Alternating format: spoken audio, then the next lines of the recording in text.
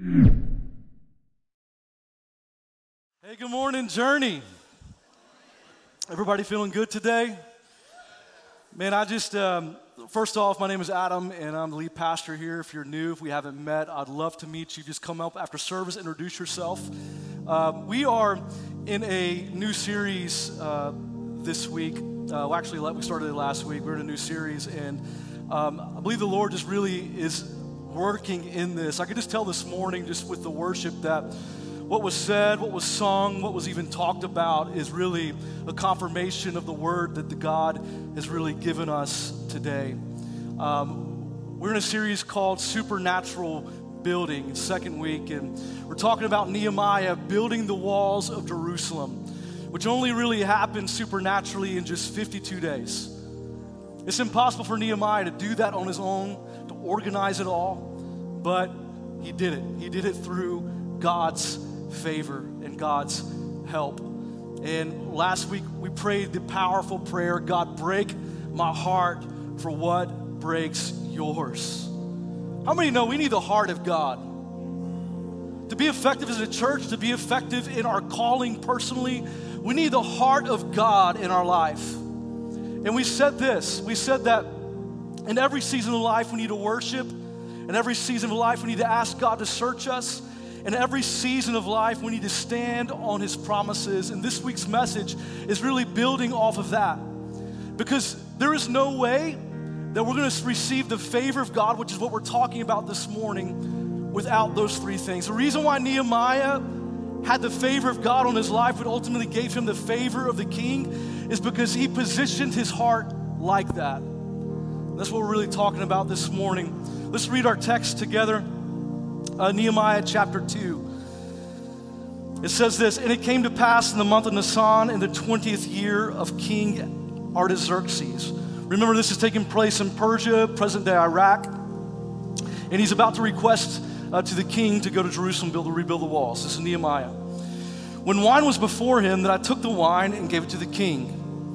Now I had never been sad in his presence before. So part of his job as a cupbearer is to maintain his countenance. He wasn't allowed to, to show any emotion because he didn't want to cloud. And so uh, he says this Therefore the king said to me, Why is your face sad since you were not sick? This is nothing but sorrow of your heart. So in that moment he became dreadfully afraid and said to the king, May the king live forever. So he's trying to make up for his countenance in that, in that moment. Why should my face not be sad? He says, When the city, the place of my father's tombs, lies waste, and his gates are burned with fire. Then the king said to me, What do you request? So I prayed to the God of heaven. He prays a quick prayer under his breath. So I prayed to the God of heaven, and I said to the king, If it pleases the king, and if your servant has found favor, say favor, church Come on, say favor. If your servant has found favor in your sight, I ask you that you send me to Judah, to the city of my father's tombs, that I may rebuild it. Then the king said to me, the queen also sitting beside him, How long will your journey be, and when will you return? So it pleased the king to send me, and I set him a time. Furthermore, I said to the king, If it pleases the king, let the letters be given to me for the governors of the region beyond the river, that, that they must permit me to pass through till I come to Judah. Just notice the favor right here that Nehemiah has. Verse 8 And a letter to Asaph, the keeper of the king's forest, that he must give me timber to make the gates of the citadel, which pertains to the temple for the city wall, and for the house that I will occupy. And the king granted them to me according to the good hand of my God upon me. God's hand was upon Nehemiah. It was upon Nehemiah. You say that's favor? Come on, say that's favor. Then I went to the governors in the region beyond the river and gave them the king's letters. Now the king had sent captains of the army and horsemen with me. When Sanballat and eh, the Horonite and Tobiah the Ammonite officially heard of it, they were deeply disturbed that a man had come to seek the well-being of the children of Israel. When we talk about those two individuals later in our series, but this morning we're talking about the favor of the king. I've entitled my message today, The Favor of the King The favor of the king. If you like my notes, you can text notes to the number that is on the screen, and my notes will uh, be sent to you. Let's pray. Let's just ask the Lord to speak to us this morning.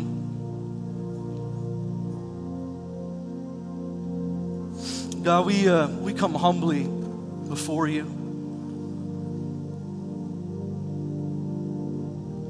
We come humbly before you, King of Kings and Lord of Lords.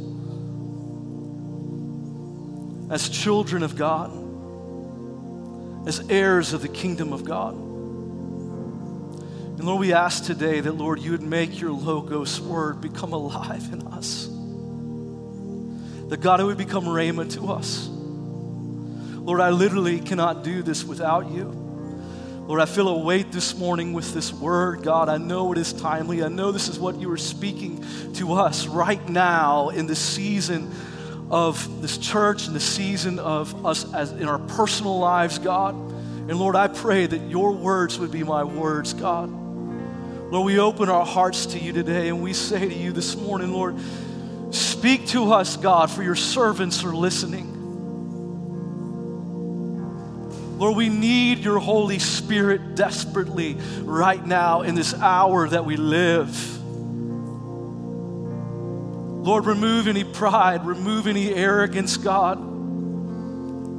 Lord, I'm not here to please man, but I'm only here to please you today. Help my heart, God. We desire you alone. So, God, we say to you this morning, God, let us recognize the favor that we have as children of God. In Jesus' mighty name, amen. Amen. Amen. How many um, people are foodies in here. You love food. I mean, come on. I am a foodie. Like, I love to eat good food. And when I'm eating good food, I want everybody at the table around me to share in what I'm eating. So, uh, Laura and I will, will go on a date. And, you know, when you go on a date, you go to a nice restaurant. So, nine times out of 10, you'll get a, a good meal. And so, you know, I'll order off the menu, of course, what I believe is going to be the best meal, and Laura will do the same. And typically, my meal is always better than hers, in my opinion. It just kind of ends up that way. I don't, I don't, I don't know. Um, but I'll ask, I'll take one bite, and I'm like, Laura, this is heavenly. Like, this is so good. Like, Laura, you have got to taste this food. Like, have a bite, and I'll offer a bite. She goes, any, any husbands out there like this? And, and she'll say, no thanks, I, I don't, I don't want, I don't want to try it. I'll, I'll eat my food right now. And then halfway through, I'll ask her again, hey, hey, Laura, please, this food, this food really is, it really is super, super good. Like, you've got to try this right now. And she's like, no thanks, I'm, I'm good, Adam, really. I'm just, I'm just, we're sitting here and we're just doing it. I'm, and so I'm like, okay, okay, okay. So you know, you know, I have two bites left, and I'm going to give it one last attempt. But of course, the last bite is mine. Am I not like this, Laura? The last bite is mine, and I'm asking her, uh, okay, I have got two bites. I, am thinking this in my head. Uh, Laura, just try this before I eat it all. Like, for real, it is really, really, really, really good. You've got to try this. It is so good. Because I want to share in what I am tasting. Like, it's amazing. So I'm like, please. And she denies me again, like, no, I don't want to eat it. I'm, I'm good. And I'm like, okay. Like, it, but isn't that an incredible job if you really to think about it? Like if you were to have a job like that where you to taste food and like, hey, this is really great. This is my stamp of approval. Like, and you were doing that as a job. Now, just imagine that's like a dream job to do that for a boss, isn't it? Like to taste food, to make sure it's good. Uh, Nehemiah, he, his, his job is somewhat like this. He would, taste the food, he would taste the wine, make sure that it was good, give it his stamp of approval, and be like, okay, king, like I approve of this. You've got to try this. It's for your it's for his court, his royal, his royal court. You've got to try like this is my approval over this wine, over this food. But the only caveat to this job, even though it's a dream job, is this that you have to try it as well to make sure there wasn't even po- any poison at all. So he's trying to like, Lord, like I pray right now, I'm not going to die from this. I know there's potential, there's poison, this is really good food, but you know. So this is a cupbearer's job. This is Nehemiah's job. He's a cupbearer. He tries the best, make sure there's no poison for the king. But also, along with this job, is uh, he has the favor of the king as far as he's able to uh, ask for, his king would ask him his opinion about things. He was a close confidant, all that stuff. Like he was in the royal court. But was, what was unheard of, though, is a cupbearer to be able to go and to do something like Nehemiah, where he's going to go rebuild a city. Because he's basically stuck there for the remainder of his life. Like it is unheard of for him to be able to have this type of favor to go rebuild the walls of Jerusalem.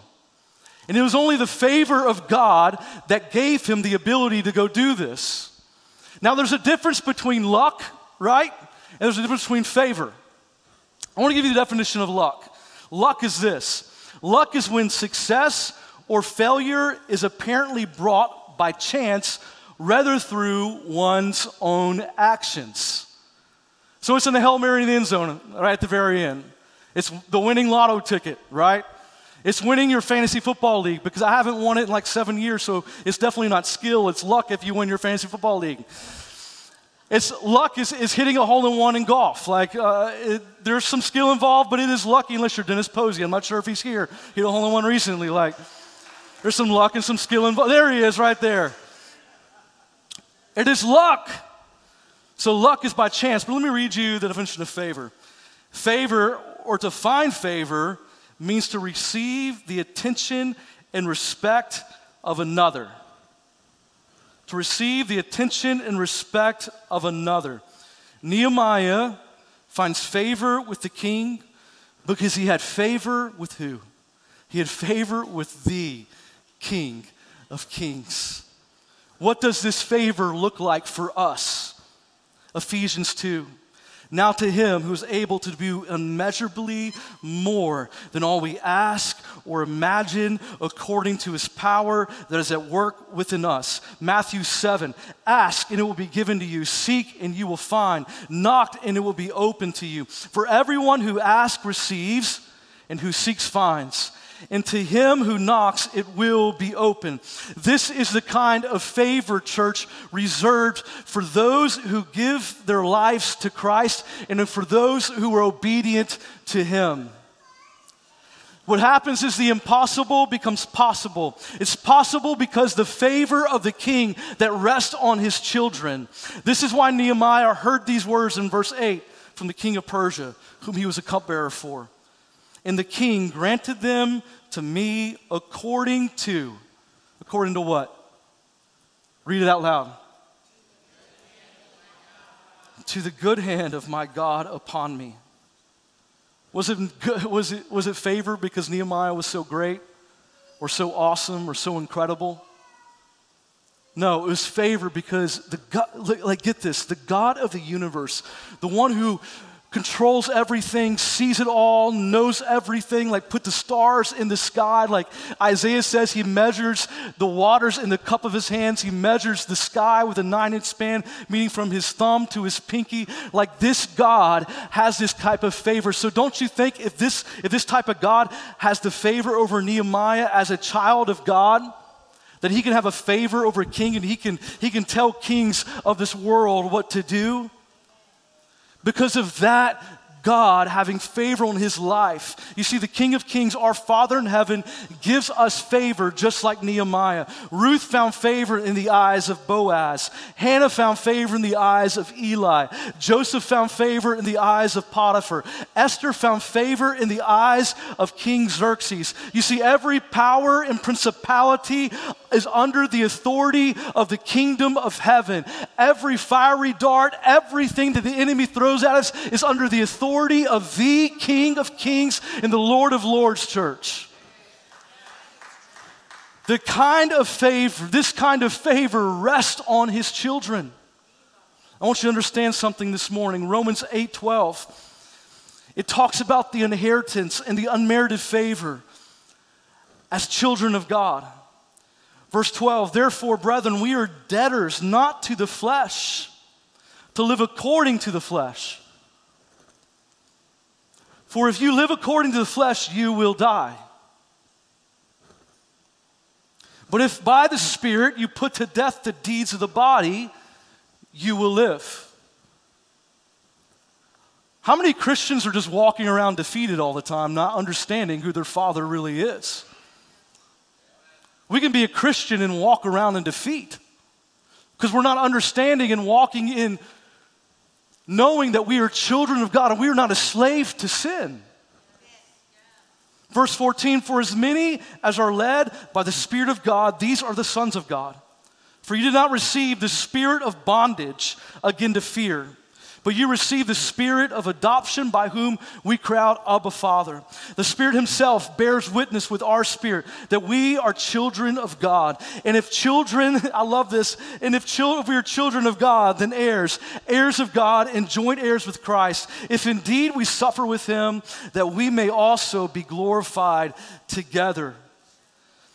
Church, we have the favor of Jesus, the King of Kings and the Lord of Lords in our life. No longer are we slaves,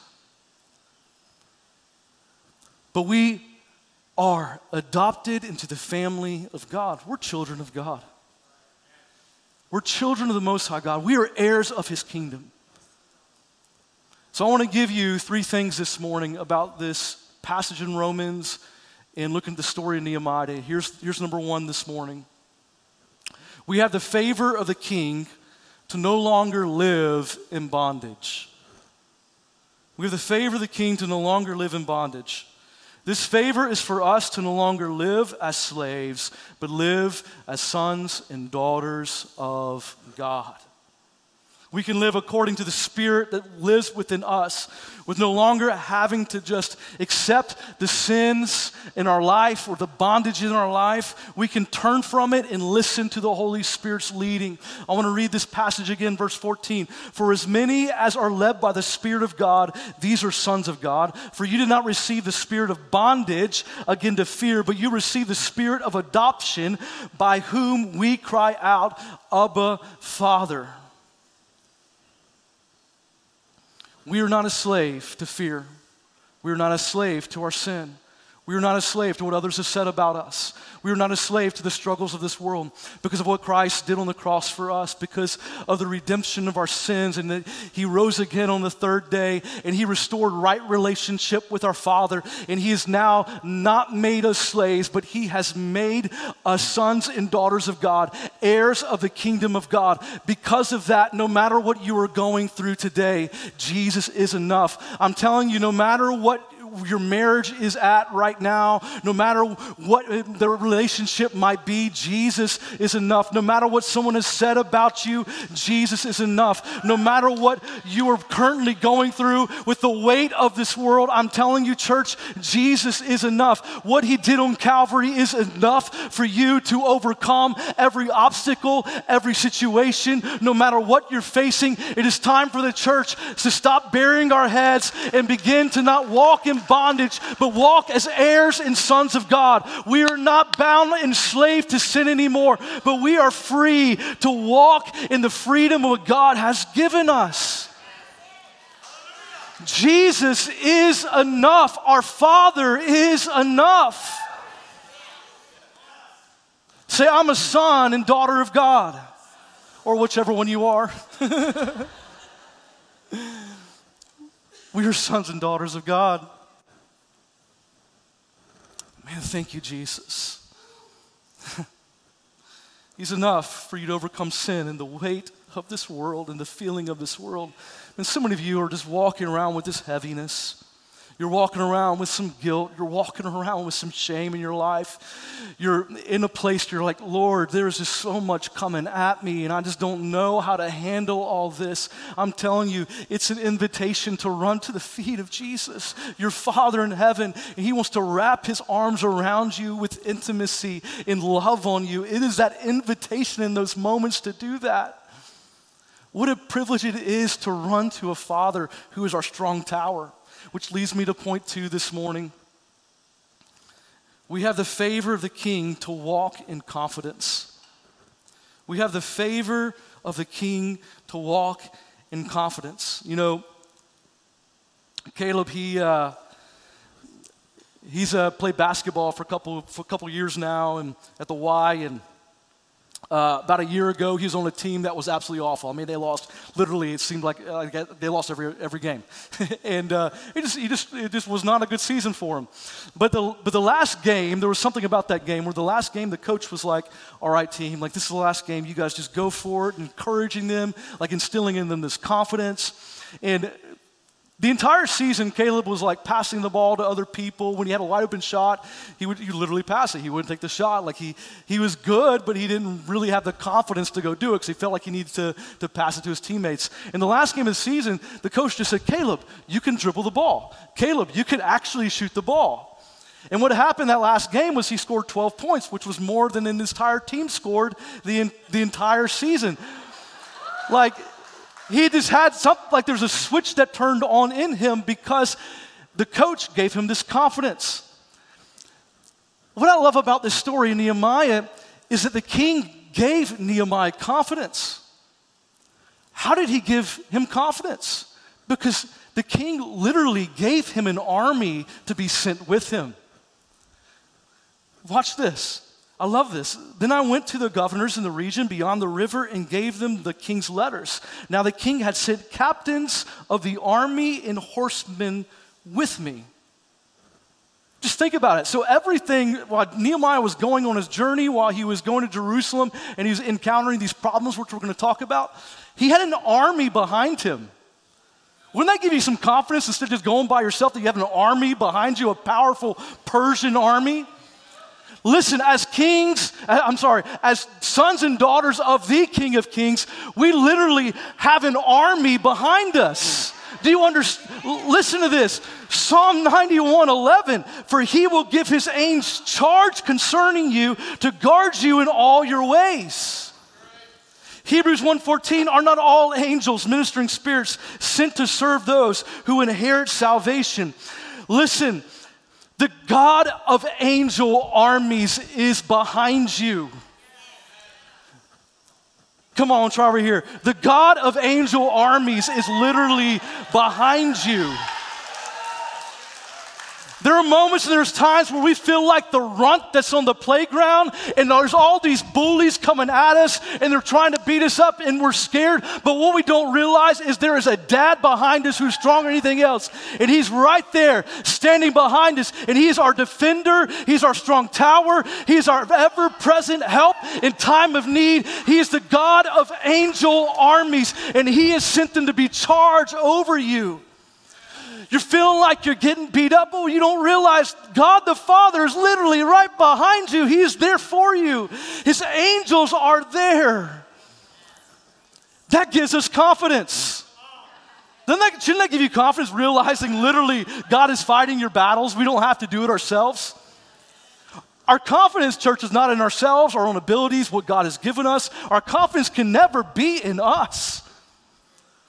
What is it in? It's knowing that man, there's a strong dad, right? Literally right behind me. I'm not a runt on the playground about to get beat up by bullies, but literally God is right behind me and his angels are putting charge over me.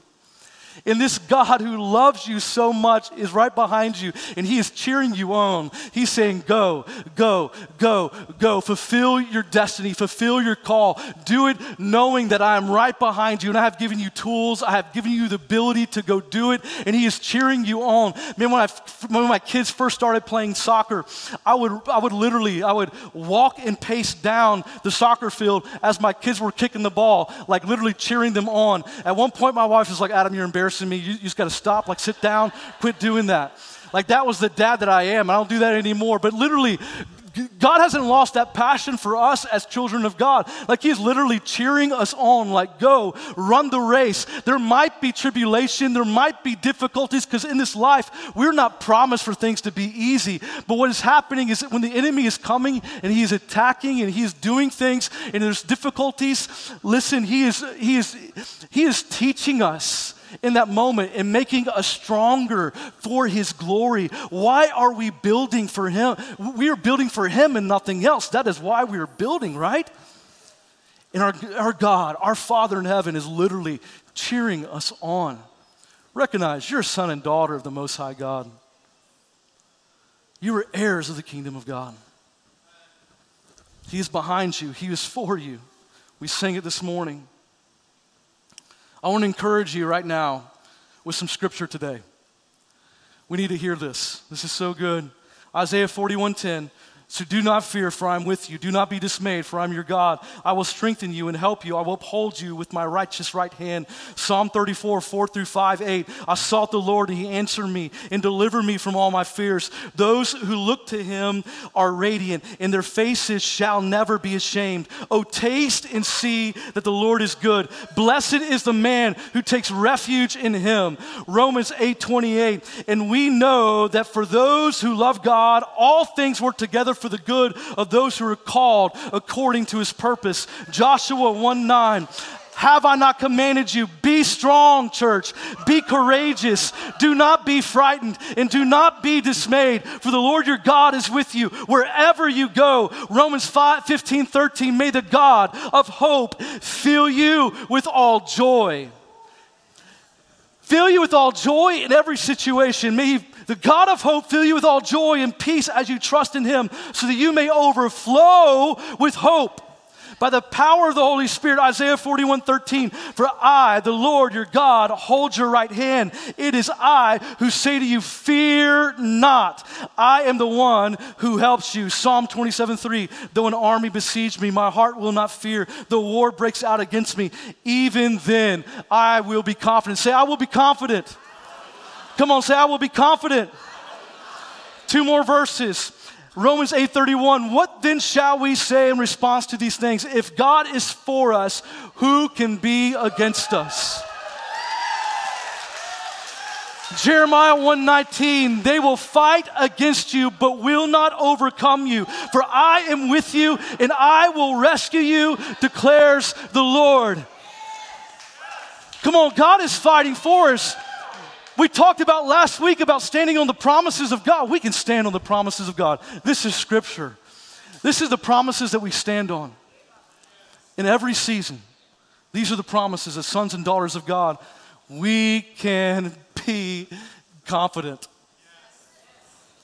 We can be confident no matter what storm you might face, no matter where your marriage might be at, no matter what trial at work you're going through, no matter what relationship seems hopeless, we can be confident that God is fighting for us. And if God is fighting for us, who can be against us? Number three this morning, we have the favor of the king to build for his glory. We have the favor of the king to build for his glory. You know, I, um, I am terrible at fixing things. Like I'm not a. We made a joke this past week about not being a handyman on one of this uh, Facebook uh, Facebook thing, but uh, I, I, just can't. I'm not good at that stuff. And um, but I do know this. I knew. I do know that the right tool is incredibly important, right? So when I first moved into my house, we have these huge oak trees everywhere, and uh, man, there was just leaves everywhere. But my last house, I had this battery powered leaf blower. So I'd get up there blowing the leaves, and there was just like leaves everywhere. And I'm like, this is only meant for a patio. This is not working. Like, I, I, can't, I can't do this. So I asked Jeff Eads, many of you know Jeff Eads, I asked him, like, hey, dude, like, what's the best uh, blower I can possibly get? He said, uh, get this, get, get, a back, Ryobi backpack blower. It's at Home Depot. So I went after church that day, uh, picked it up, and I blow off my leaves. That, that, and I was like, wow, this thing really works. Like, this is so much better. How many know the tools that we use are really matter, right? The tools that we use really matter. Nehemiah was given tools for his journey. Look at this. Nehemiah 2, in a letter to Asaph, the keeper of the king's forest, that he must give me timber to make beams for the gates and the citadel which pertains the temple for the city walls, and for the house that I will occupy. And the king granted them to me according to the good hand of my God upon me.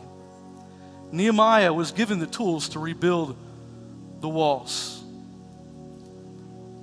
What tools has God given us? Because we've kind of said this a lot here, but our weapons of warfare are not carnal, but they are mighty in God for the pulling down of strongholds.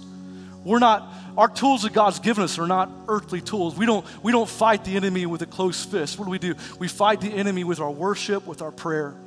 I want to give you seven things right now, seven practical things of tools, of weapons that God has given us in this fight and in this battle that we are having. Because First Peter talks about how the enemy is literally going around like a roaring lion, seeking whom he may devour. He, the enemy is not for you. If you allow him to get in, he's going to get in.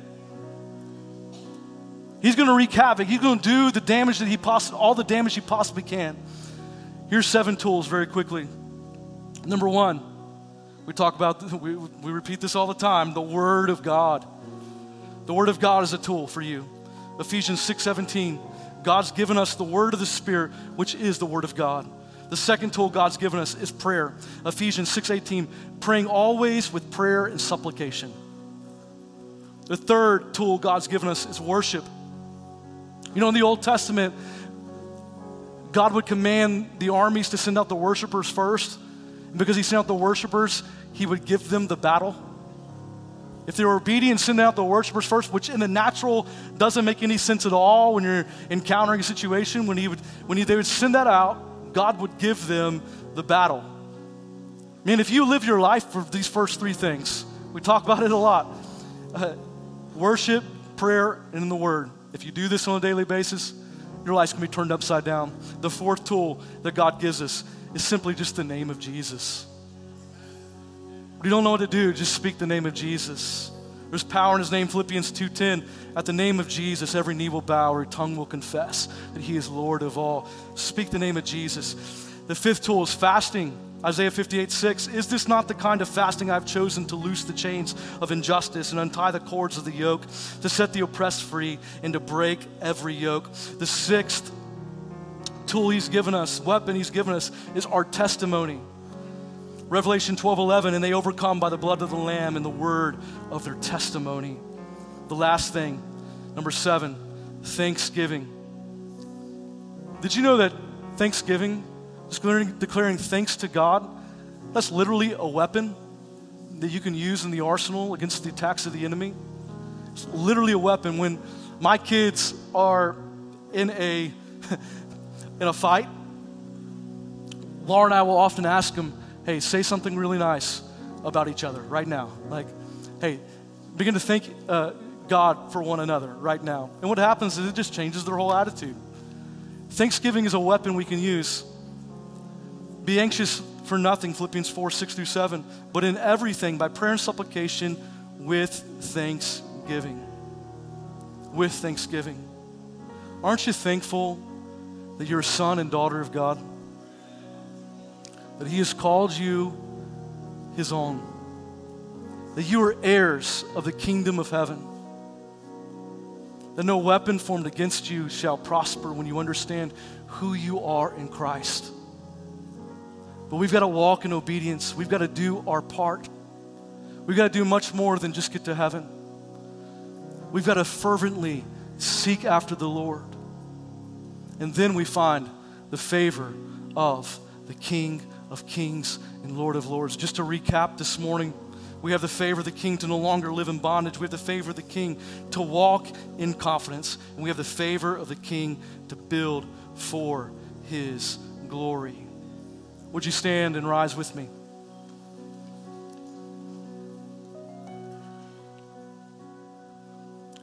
Lord, we want to build for your glory. Lord, not for our own.